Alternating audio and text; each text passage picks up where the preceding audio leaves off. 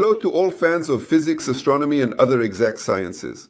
I'm Andrei Shchetnikov, and today we're going to talk about what parallax is and how astronomers measured the distance to the stars closest to the Sun, and why in astronomy, alongside the unit of distance known as a light year, is another unit used called a parsec, which stands for parallax second. So let's start with the phenomenon of parallax. It's very simple. You can do this experiment with me right now. If I haven't done this before, I take an object, for example, this marker, and I look at the opposite wall behind the camera where I have some pictures hanging. I alternately close one eye and then the other. And I see how the marker shifts against the background of the pictures, moving left, then right, left, right, left, right. This is what is known as parallax shift. Yes, actually, the word parallax comes from Greek and means a change that occurs alternately. And why does this happen? It's actually very simple to explain. Here I've drawn two of our eyes. And the distant object is the marker, which is significantly closer to the eye. And when I look with one eye, I see the marker against one spot on that distant screen, and when I look with the other eye, I see the marker against a different spot on the screen. So it seems to me that when I alternately open and close my eyes, the marker on that background shifts.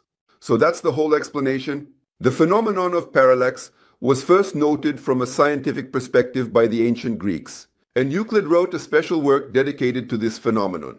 It's called optics. But this is not the kind of optics we're used to. Here, the same question is being discussed all the time.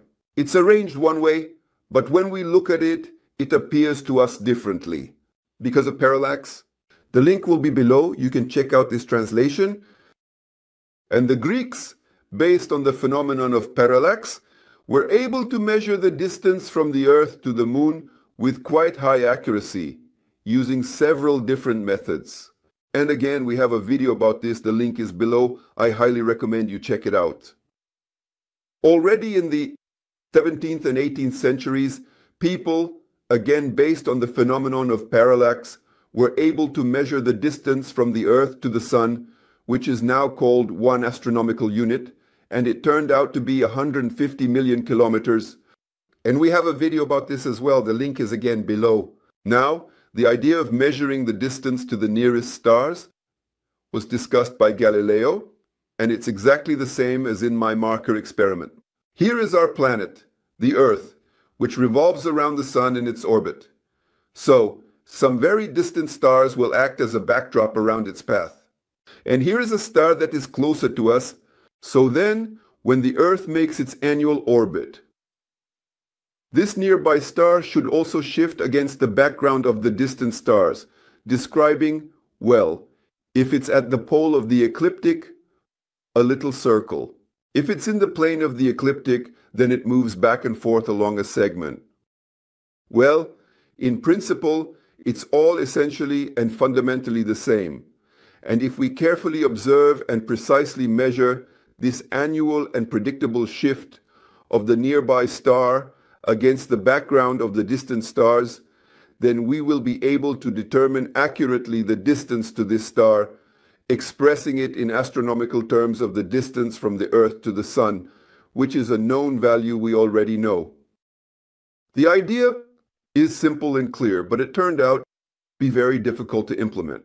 And this task was accomplished independently by three astronomers in 1838. Also in 1838, this was Friedrich, also known as Vasily Yakovlevich Struve, who worked in Delft, now Tartu, and he measured the parallax of the star Vega, Alpha Lyrae, which we see overhead in the evenings during autumn. The second astronomer was Friedrich Bessel. He worked with the star 61 Cygni. And the third was the Englishman Thomas Henderson, and he measured the parallax of Alpha Centauri, working in the southern hemisphere. Well, they found that Struve's parallax for Vega was about 1.8 angular seconds, and Bessel's parallax for 61 Cygnus was around 1.3 angular seconds, while Henderson measured the parallax of Alpha Centauri to be just over 1 angular second. From the first swan, from the first swan, from the first swan. Bessel's parallax was around 1.3 angular seconds, while Henderson measured the parallax of Alpha Centauri to be just over one angular second. Well, according to modern measurements, it's a bit less. So now we need to understand what this angular second actually is. And to visualize this, I'll take a coin with a diameter of 2 centimeters and a radius of 1 centimeters. Centimeter with a radius of 11 centimeters with a radius of 11 centimeters. And I'll ask, at what distance do you need to look at it to see that radius at an angle of 1 angular second? Well, if it were at an angle of 1 degree, then the distance would be 360 degrees divided by 2 that's about 57 degrees. And since we have not a degree but a second, we multiply it by 60 once for one minute, and then multiply it by 60 again for one second. So 360 divided by 2p multiplied by 60 multiplied by 60. So it turns out to be about 206,000 times greater than the radius well, the radius is one centimeter. A hundred times that is a meter. A hundred thousand times that is a kilometer. Two hundred thousand. Two kilometers. From a distance of two kilometers, you need to look at this coin to see its radius at an angle of one angular second. And Struve had angles that were almost ten times smaller, which is like trying to look at a coin from a distance of 20 kilometers. These are the kinds of angles they had to measure. It's clear that all of this is very, very complicated. And so the distance to Alpha Centauri turned out to be 200,000 times greater than the distance from the Earth to the Sun. Well, in terms of order of magnitude, with all sorts of clarifications. And this is the distance to the closest stars. Well, now let's convert everything into familiar units. So, the distance from the Earth to the Sun, one astronomical unit.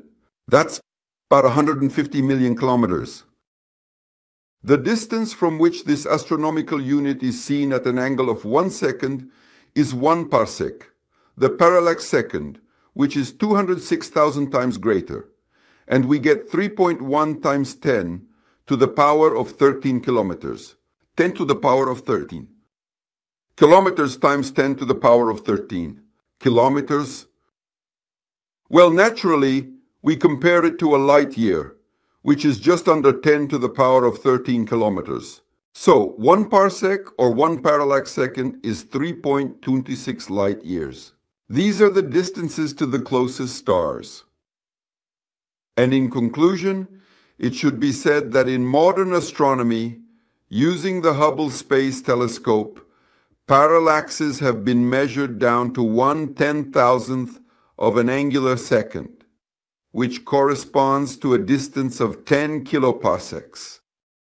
And with the help of radio interferometry, when two telescopes located on different continents work together, parallaxes are measured down to one hundred thousandth of an angular second. The distance corresponding to 100 kiloparsecs is already the size of a galaxy. And we'll talk about how distances to even more distant objects are measured in the next videos. For now, share your thoughts and questions here under this video, and thank you for your attention.